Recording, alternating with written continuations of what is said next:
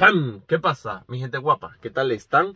Cuéntenme cómo está la vaina. Amigos, les comento que hoy la vaina va a estar súper, súper interesante y además de interesante va a estar muy, muy sabrosa. Que sí, amigos, como lo vieron en el título de este video, hoy vamos a hablar sobre una cosa bastante llamativa, bueno, para uno cuando llega de afuera acá a tierras españolas. Amigos, Resulta que una de esas cosas que son tan llamativas, tan interesantes para nosotros, aunque ya yo tenía un poquito de esa semilla cuando estaba en Venezuela por mi padre, pero cuando llegué aquí me terminó de sorprender muchísimo algunas cosas de, de los productos más que todos que se consumen acá en estas épocas. Ustedes estarán preguntando, Rocucho, pero ¿qué productos son esos? ¿Qué vainas son esas que nos vas a mostrar el día de hoy y que consumen aquí en la Navidad y que a ti te parecen tan, tan llamativas y tan interesantes y un poco diferentes, ¿verdad? Por decirlo así, a las costumbres que había en Venezuela en diciembre. Bueno, miren, vamos a empezar tengo unos productos aquí que voy a probar ahorita, pero primero tengo que decirles a ustedes algo, ¿verdad? Y es el hecho, ¿verdad? De que estos productos la primera vez que los vi, no sabía que se vendían acá en España, porque tengo que serles sincero, yo cuando vivía en Venezuela, eh, yo buscaba más que todo cosas turísticas y de historia de España, no tanto sobre productos, ¿verdad? Comestibles eh, de estas épocas navideñas, pero cuando llegó, ya yo estando aquí en España me sorprendió mucho, ya se los voy a mostrar. Miren, por aquí tengo uno, ta, ta, ta, Ustedes, españoles que me estén viendo, yo creo que ya sabrán qué producto es este, ¿verdad?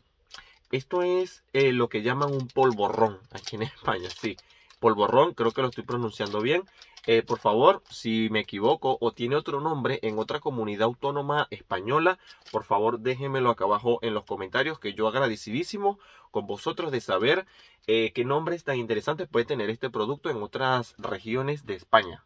Ahora bien, esto fue una caja de polvorrones que compré ayer en el al campo, un supermercado aquí muy conocido en España, porque ya tenía ganas de probarlos ¿verdad? Como ya viene la época navideña y dije, bueno, Rococho, pruébalos, muéstrale a tu audiencia también estos increíbles eh, productos que se consumen aquí en España cuando es época navideña. Por ejemplo, este que ven acá dice mantecado de canela. Este es uno de mis favoritos. Miren, mantecado de canela.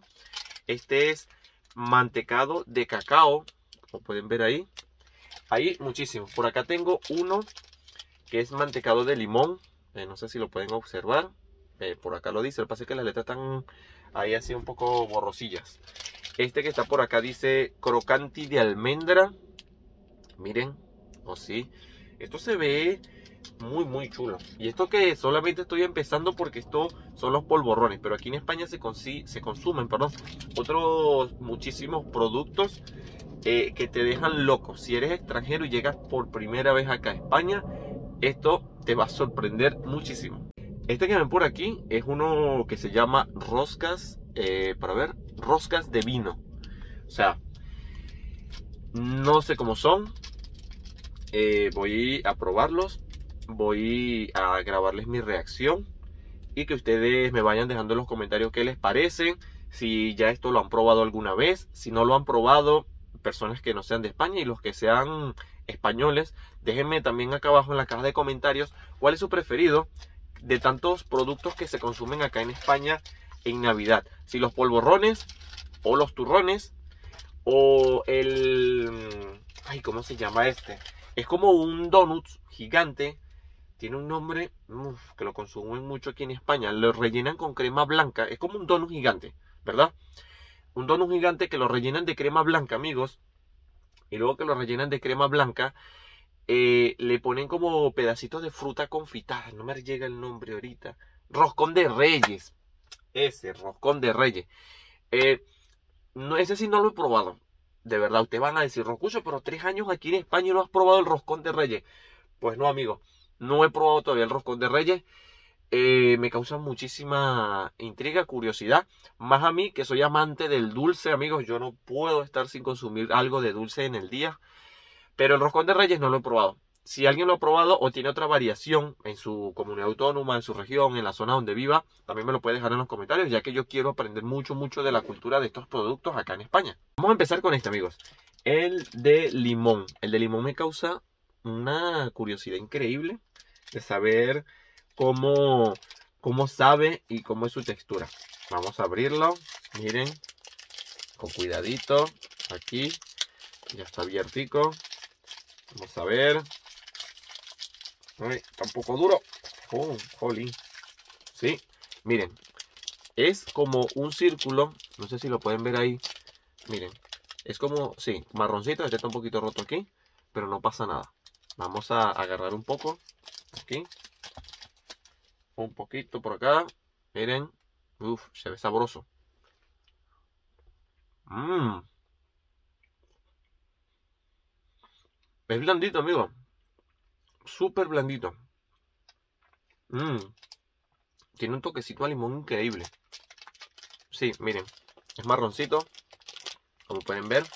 Viene en un empaque similar al de los demás. Solo que te cambia el color de afuera. Y obviamente de que es el sabor del, del polvorrón que hay allí adentro. Ahora miren que tengo por acá. Esta preciosura. Mantecado de canela. ¡Jua! Casi nada. que decimos en Venezuela. Mantecado de canela, amigos. Vamos a probar el mantecado de canela. A ver qué, qué tal sabe este, este increíble polvorrón.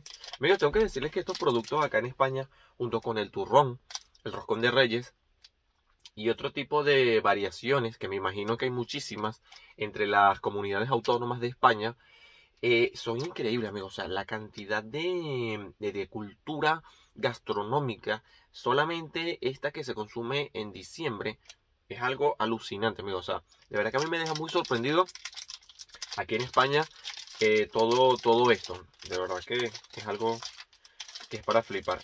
Miren, por ejemplo, mantecado de canela. Ya lo abrimos. Como ven, está ahí cerradito. ¿Sí? Ahí se ve en la cámara, sí. Vamos a a separar esta parte por acá. Vamos a ver si sabe bien. Lo voy a poner así como un sándwichito. Miren.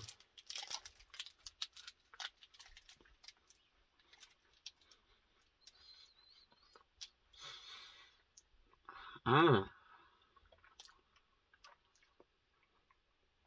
Tiene un toque increíble, amigo. Ayudamos la canela. Sabe muy bien. Aparte de que a mí me gusta mucho la canela, este está muy bueno.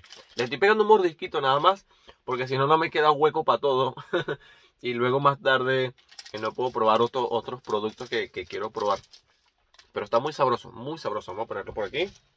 Ahora vamos a ir con el roscos, roscas de vino. Este roscas de vino también se ve súper llamativo, muy interesante. El empaque, como pueden ver, es así como color rosado creo que se puede decir. Eh, plateadito por acá. Vamos a abrirlo. Vamos a si tiene forma de rosca. Yo espero que sí tenga forma de rosca, que sería lo ideal para que le hiciera nombre a su, a su, a su eh, le hiciera nombre a la forma que, que supuestamente tiene una rosca. Otra cosa que quiero preguntarles es por qué este es como forma de rosca con diferencia de los demás que son así todos blanditos. No sé si este se desarrollaría en una comunidad autónoma diferente, pero como pueden ver, rosca de vino. Y también quiero saber si algunos de ustedes este, tienen por costumbre hacerlos de manera artesanal. Si algunos españoles hacen los, los polvorrones de manera artesanal, me gustaría saberlo, porque en Venezuela los platos típicos de Navidad pasa todo lo contrario que se hacen todos artesanales y muy muy pocos los encuentras hechos de manera industrial, porque vas a encontrar productos en Venezuela que se consumen en diciembre vendiéndose en tiendas, pero al final son hechos igual artes artesanal, o sea, por personas en su casa, no es que una máquina lo hace ahí a tope, no. Por eso se los pregunto porque no sé si eso con algunos productos sea igual acá en España o todos son así industrializados. Ahora sí, como ya les dije, vamos a probar el roscas de vino. Sí, amigos, muy, muy, muy sabrosito. Vamos a abrirlo. Ya estaba, bueno, ya lo había abierto. Oh, sí, amigos, miren esta vaina. Tiene forma de rosca. Miren. Sí, tiene forma de rosca. Vamos a sacarlo un momento de aquí para que lo puedan ver con más detalle. Miren. Forma de rosca. Chacatán. A pegarle un mordisco. Mmm. Muy bueno. Mmm. El polvito que tiene por fuera, el blanco, sabe increíble. Muy bueno, increíble producto. Acá nos quedan dos. Nos queda el crocanti de almendra, como pueden ver. Y por acá nos queda el mantecado de cacao, que es este que pueden ver aquí. Eh, dos increíbles polvorrones. Espero sean de su agrado. Si ustedes lo han probado también déjenmelo en los comentarios. Me inclino más por este porque el empaque me causa más, más curiosidad de, de, cómo será. Es un poquito más chiquito si me doy cuenta que los demás. No sé por qué. Pero bueno, vamos a abrirlo. Ya abierto. Oh, sí. Es más chiquitito, amigos. Sí, miren, es chiquitito, chiquitito. Muy, muy, muy pequeño. Viene aquí un poquito eh, roto. Vamos a, a, abrirlo. Está cayendo por todo el coche. Miren, tiene pedacitos de almendra, amigo. Esto es increíble. Mmm. Mmm. Este es súper blando. Blandito, blandito. Mmm. Crocante de almendra, amigos, ya lo saben. Venezolanos que estén llegando o algún otro hispanoamericano, son súper blanditos. Los crocantis de almendras, pero muy sabrosos. Muy sabrosos como la mayoría de estos polvorrones. Estarán el último de su especie que nos toca por probar. Mantecado de cacao, amigos. Oh, sí, miren. Mantecado de cacao. Se ve llamativo. Vamos a abrirlo sin más preámbulo y ver qué tal es. Ya lo he abierto. Este, miren, está enterito, no se, ha, no se ha roto ni nada. Quiero que lo vean. Vamos a ver si lo puedo poner aquí en, en mi mano para que lo vean. Miren, es como un mini pastelito. Yo no sé si lo ven como un pastelito pequeñito. Y el olor, wow, huele sabrosísimo. Bueno, voy a ponerlo aquí con mucho cuidado. Porque solamente, uy, que no se rompa. Quiero morderlo, eh, probar una parte pequeña nada más. Mmm. Este es como crujientico. Blandito pero crujiente. Mmm. Tiene un sabor muy bueno. Muy bueno, amigo. Me gustó mucho. Es como un chocolatico así, miren. Parece chocolate. Estos productos españoles son para, para flipar, amigos. De verdad que son para, para flipar. O sea, son una deliciosura. Sabrosos, baratos. Eh, bueno, también depende de qué producto. Pero en verdad que te van a gustar. Yo como persona que no nací en España y que nunca los había probado en Venezuela, se lo juro, lo único que había probado era el turrón, porque mi padre sí era aficionadísimo al turrón, como saben era español y él compraba mucho turrón de almendras, de diferentes tipos, pero polvorrones no compró, así que yo los vine a probar, fue aquí en España.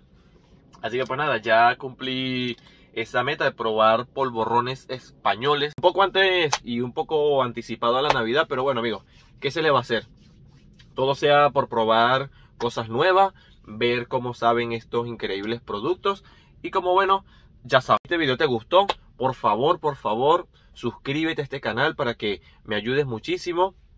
Dale un pulgarcito arriba para que este video lo recomiende YouTube. Déjame un comentario con cualquier cosa, cualquier opinión que quieras dejarme acerca de todo lo que has visto en este video. También recuerda que en la descripción del video te dejo el enlace para el grupo de Telegram y que también puedes seguirme al eh, Instagram. En Instagram es muy importante que me sigas allí también, ya que ahí subo fotos de todo lo que voy haciendo, las cuales seguramente te van a gustar. Así que pues nada, me despido gente guapa, cuídense, pórtense bien, como siempre, hagan bien las vainas y nos vemos dentro de unos días o unas horas con un video nuevo y bastante interesante. Chao.